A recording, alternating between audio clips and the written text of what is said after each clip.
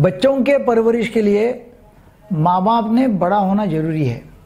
इसके बारे में मैं आज अभी बातचीत करने वाला हूँ। मेरा नाम है डॉक्टर दीपक केड़कर मैं मनोविकार, सेक्स, रोग, सम्मोहन तथा व्यसन मुक्त हूँ महाराष्ट्र में पिछले उनचालीस साल से अकोला में प्रैक्टिस कर रहा हूँ।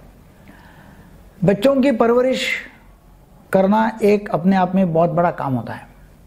देखिए, जब बच्चा पैदा होता है तो माँ बाप का एक दूसरा जन्म हो जाता है। कोई भी बच्चा अर्थात, मैं जब भी बोलूँगा, कोई बोलेंगे, पागल जैसे कुछ बात कर रहे अर्थात माँ बाप से छोटा ही होता है। मगर जैसा जैसा बच्चा बढ़ते जाता है वैसे वैसे माँ बाप ने भी बढ़ना ज़रूरी है। माँ बाप उम्र से बढ़ते रहते हैं, बच्चा उम्र से बढ़ते रहता है, मगर माँ बाप उम्र से बड़े हैं, उनका आईक्यू ठीक है, बुद्धिमत्ता ठीक है, इमोशनल क्वेश्चन जो है वो कम है। मतलब उम्र के हिसाब से उनकी उम्र होंगी तीस साल, बत्तीस साल, पैंतीस साल। माँ की या बाप की। मगर मैच्योरिटी वाइज दस बारह साल जैसा बिहेव करते हैं। और जब वो वैसा बिहेव करते हैं, बेजवाबदार, बहुत ही इमेच्योर बिहेवियर है। इमोशनली अनस्टेबल बिहेवियर है। तो बच्चे क्या देख रहे हैं? बच्चे वही देख रहे हैं कि अपने माँ बाप ऐसे ऐसे हैं, जैसे उसका पिताजी जो है, ज़ोर ज़ोर से चिल्ला रहा है, गुस्सा कर रहा है। इसका मतलब क्या है? इमोशनली वो अनस्टेबल है। बच्चे के सामने बहुत बड़ा शोर हो रहा है ड्रामा हो रहा है। माँ बाप में आपस में झगड़ा हो रहा है।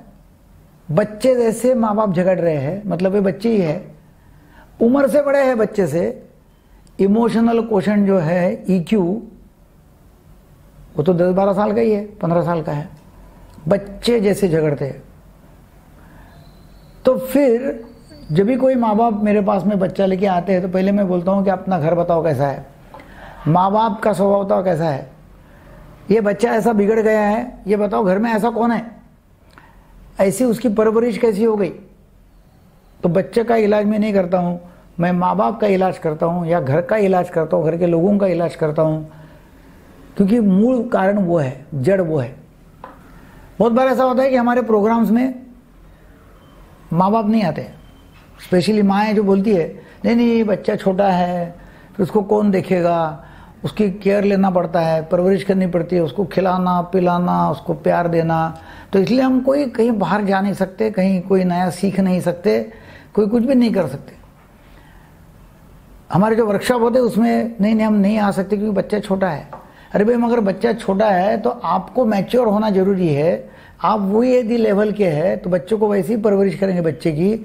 आपको ये वर्कशॉप में आना ज़रूरी है, ये प्रोग्राम देखना ज़रूरी है, ये जो हम कार्यक्रम लेते अलग अलग वर्कशॉप्स लेते वो करना ज़रूरी है, ताकि आप मैच्योर बनेंगे, आपका डेवलपमेंट हो जाएगा, और घर में कौन व्यक्ति जाएगा? घर में वो माँ जाएगी जो डेवलप्ड माँ है, जो मैच्योर माँ है, जो कुछ तो भी नया सीख के गई है। फिर बच्चा, देखो कैसा बच्चा अच्छा बच्चा बड़ा हो जाएगा और बहुत ही मैच्योर हो जाएगा। उसके ऊपर संस्कार अच्छे हो जाएँगे। तो बच्चों के ऊपर ये संस्कार करना है।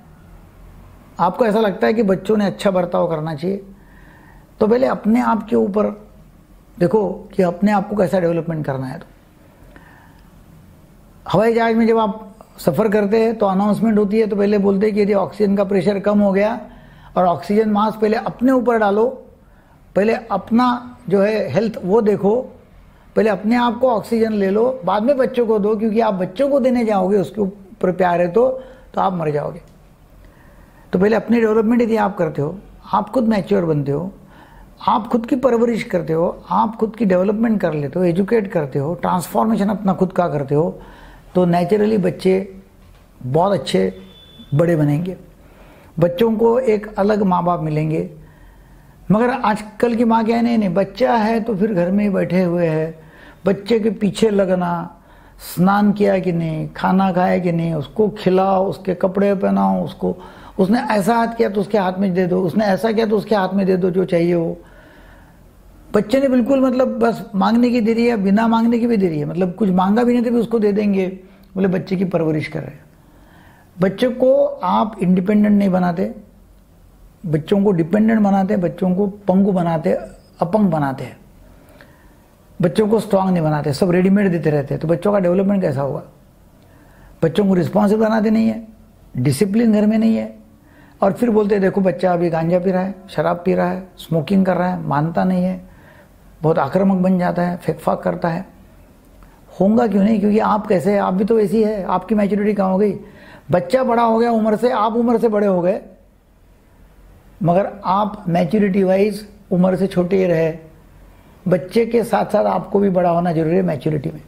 तो ये आप करोगे, आपका इमोशनल क्वेश्चन बढ़ाओगे तो डेफिनेटली बच्चे भी अच्छे हो जाएँगे। और ये तोहफा आपको बच्चों को देना है। कौन सा तोहफा है? कि खुद को इमोशनली बैलेंस करने का, खुद को डेवलप करने का, खुद का ट्रांसफॉर्मेशन लाने का, खुद नया नया सीखने का, ताकि बच्चों को नए माँ बाप मिलते जाएँगे रोज। और ये तोहफा बच्चों को देंगे तो बच्चे भी देखो, बहुत होशियार बनेंगे। बहुत अच्छे संस्कारित रहेंगे और एक आदर्श नागरिक करके कल हो जाएँगे। Thank you very much